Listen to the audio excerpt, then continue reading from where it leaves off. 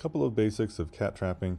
First and most important, we want to make sure that the trap is stable. We can use the trap itself to do that. We can also use a shovel depending on the terrain. Do make sure that the trap is up against something. In this case, this rock wall, a bush or any other object will work. Placing some bait, I often place it just through the top of the trap and drop it in, but you can also open the rear door.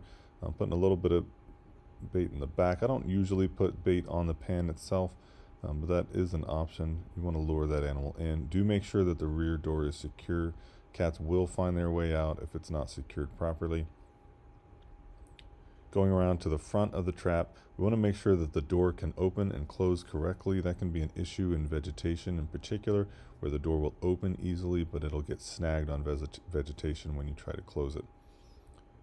Make sure the trap is set correctly. You can put a little bit of food in the front, a little bit outside. You just want to give the animal a taste and then lure them in.